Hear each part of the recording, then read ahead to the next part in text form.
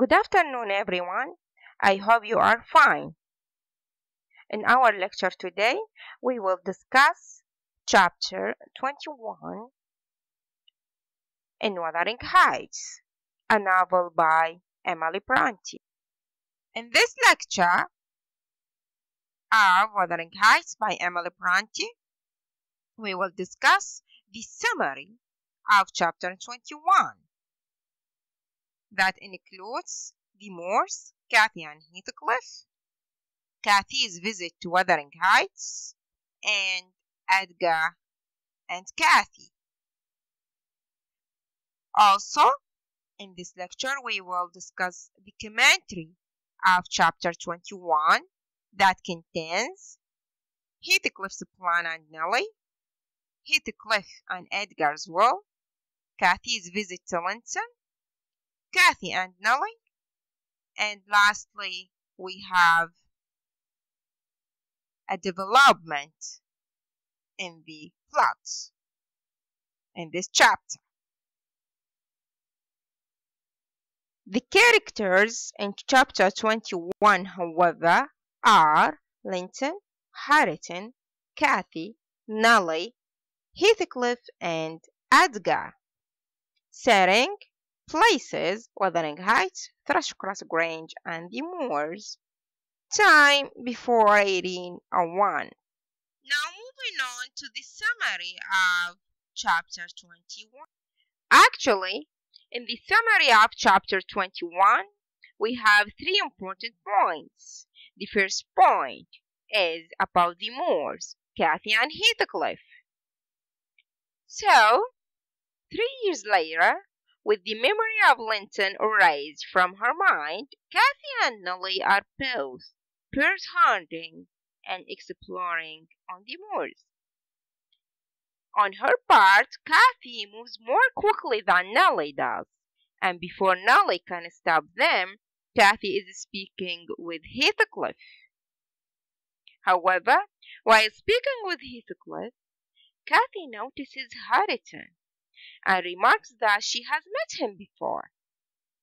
On his part, Heathcliff cannot respond to that, but she does mention that she has met his son before and encourages Cathy and Nelly to visit his house. The second important point in the summary of chapter 21 is Cathy's visit to Wuthering Heights. What about it? Well, Nelly knows that this is not a good idea to visit Wuthering Heights. However, she is unable to convince Cathy not to go because Cathy is eager to determine who Heathcliff's son is. On his part, Heathcliff mentions to Nelly his desire to have the cousins fall in love and get married, as we have said before. When Cathy and Linton do meet, they do not recognize each other at first. Although Linton is now taller than Cathy is, he is still quite sickly and willing to show Cathy around the farmhouse at first, Linton stays inside while Hareton leaves to show his cousin Wuthering Heights. Heathcliff then sends Linton after his cousins, and as he leaves, Nelly hears Cathy mock Hareton's inability to read. And as you see here, Cathy's visit to Wuthering Heights is important because it is the beginning of Cathy's relationship with both Linton and Hareton, her cousins. Moving on to the third important point in the summary of chapter 21 is Cathy and Edgar.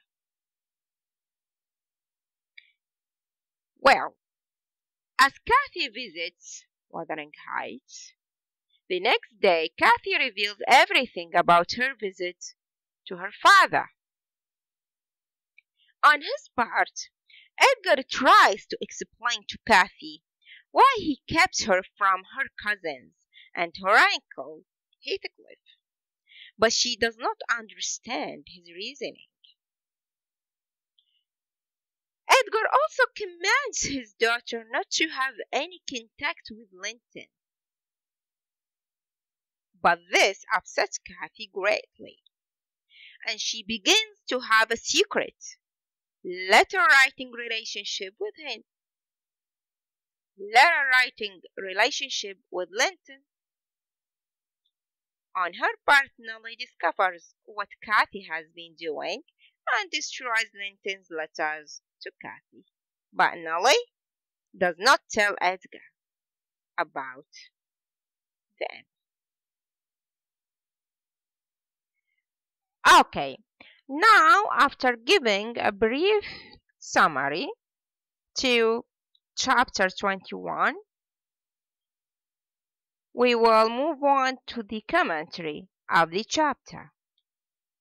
In the commentary of chapter 21, also we have some important points. The first point is about Heathcliff's plan and Nelly.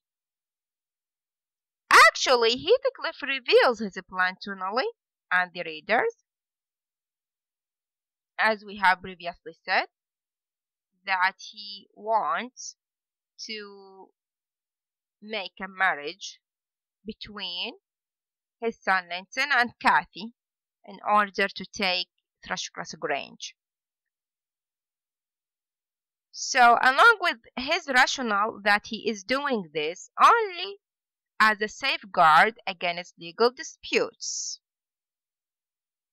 It is interesting that he still considers Nelly a confidant. Often in the past, she took his side, and he clearly still thinks he can manipulate her. However, Nelly's concern is Edgar. So he is correct in his assumptions, for as he convinces Cathy to seek out his son, Nelly's chief concern is that Edgar will find out of the visit and she laments, and I shall have the plane. So Nelly is afraid of Edgar's reaction. The second important point in chapter 21 is Heathcliff and Edgar's will. Well, actually, in chapter 21, after Heathcliff reveals his plan and Nelly counters that Cathy would be Edgar's heir, Heathcliff's response foreshadows the fact that Edgar's lawyer is now on Heathcliff's payroll. So Heathcliff made Edgar's lawyer work with him. Why? for Heathcliff knows that there is no clause in the will to secure it. The only way he could know what Edgar's will stated is by being privy to it and there is no way that Edgar would have allowed Heathcliff to know the contents of his will. Therefore, Edgar's lawyer must have shown Heathcliff, or at least shared the context of the will with Heathcliff. Most importantly, The third important point in the commentary of chapter 21 is Cathy's visit to Linton. Well, Cathy visits Wuthering Heights. So when Nelly and Cathy arrive at Wuthering Heights,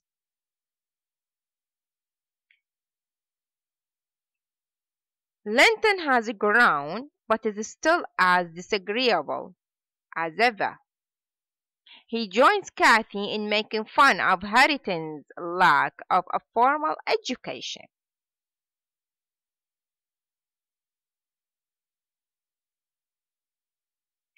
And whines about not being able to travel the four miles to Thrushcross Grange. Logically, he argues, he is too sick to travel. Therefore, Cathy must visit him.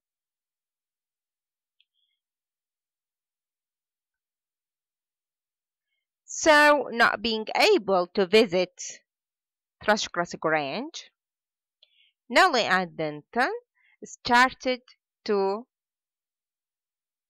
correspond each other by letters. The fourth important point here in the commentary of chapter 21 is the relationship between Cathy and Nelly. So, once again, Nelly's priorities seem to be skewed. Instead of telling Edgar about Cathy's letter writing, she takes it upon herself to burn them all, only threatening to tell Edgar. So Nelly keeps Cathy's secret the same way that Cathy kept Nelly's secret in chapter 18. When Cathy decides with Nelly not to tell Edgar of Cathy's visit to Wuthering Heights because neither wants Nelly to lose her position at the Grange. Thus, Nelly here is acting as Cathy's friend.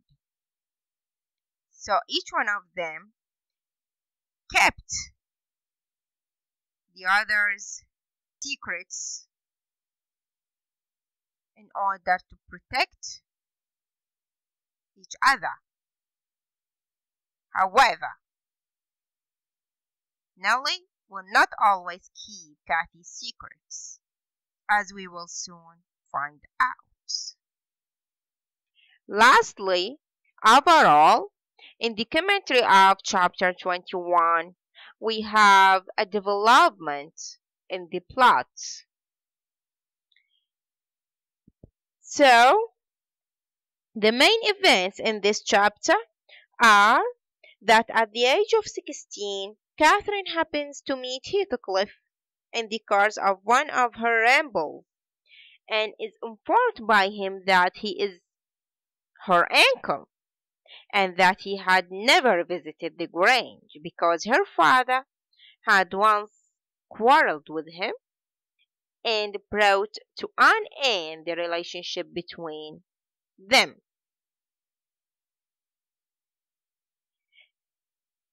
The second point that he's taken Catherine, who is accompanied by Nelly to Wuthering Heights, and he's introducing her to his son Linton.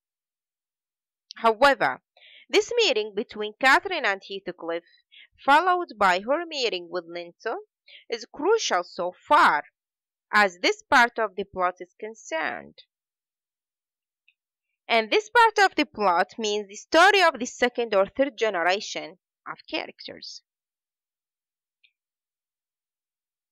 Also, a correspondence soon begins between Catherine and Linton, but as soon as the secret correspondence is discovered by Nelly, she, under the instructions of her master Edgar, puts a stop to it. So Nelly's role in this whole episode is not worthy.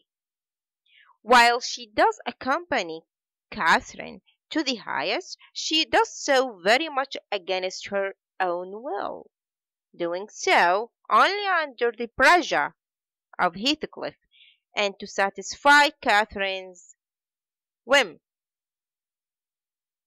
It is also noteworthy that Catherine now develops a sort of liking for Heathcliff, who has told her that he is her uncle.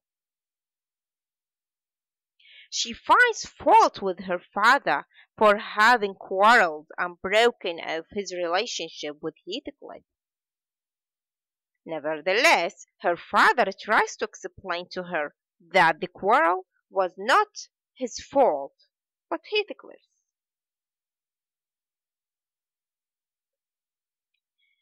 Also, what is important in this chapter and the development of the plot is Heathcliff's manner of having brought up Hareton as a brute. It is also to be noted that no fresh light has been thrown on the characters of Heathcliff and Edgar, with whom we are already fully acquainted.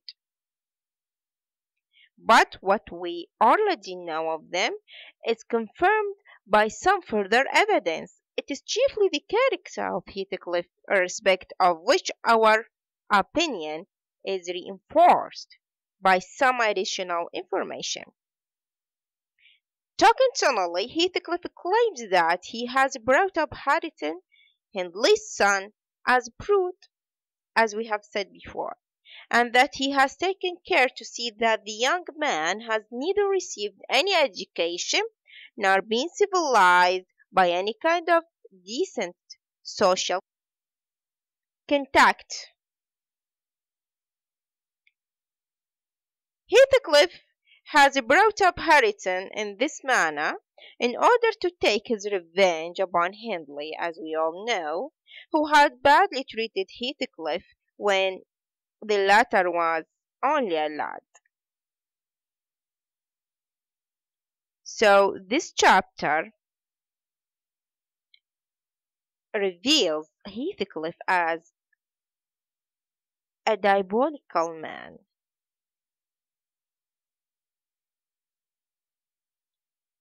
So Heathcliff here makes the following claim with regard to his despicable achievement in bringing up Hareton, and he'll never be able to emerge from his bathos of coarseness and ignorance. I've got him faster than his scoundrel a father skewed me, and lower, for he takes a pride in his brutishness.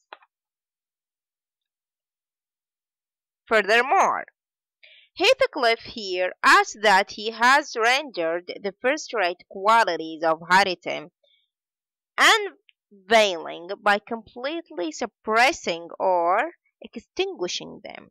In view of the way Heathcliff talks about the damage that he has done to a young and promising lad gives us the impression that he is a real devil.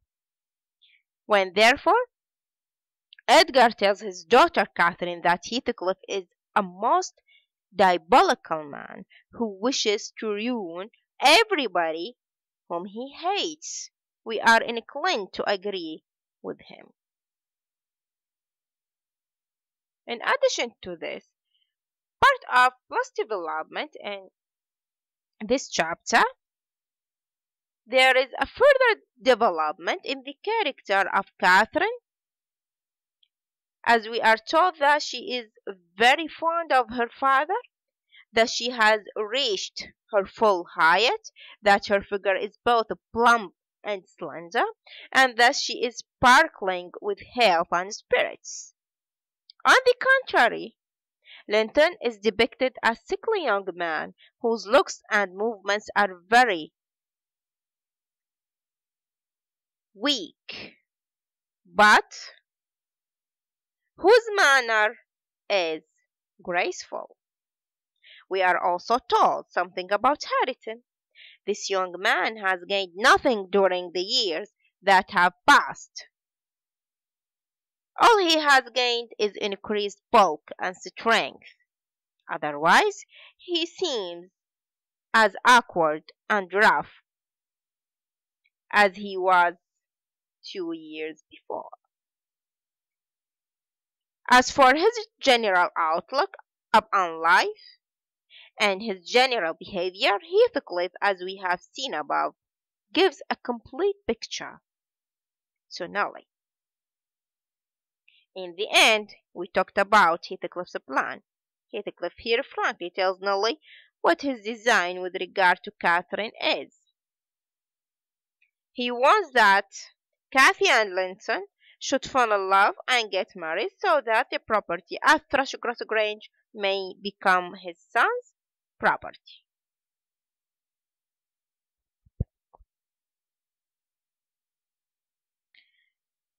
That was the end of our lecture today. For further reading, please refer to these references. Next lecture, I will discuss chapters 22 to 24 in Wuthering Heights. Thank you very much for your time and good luck.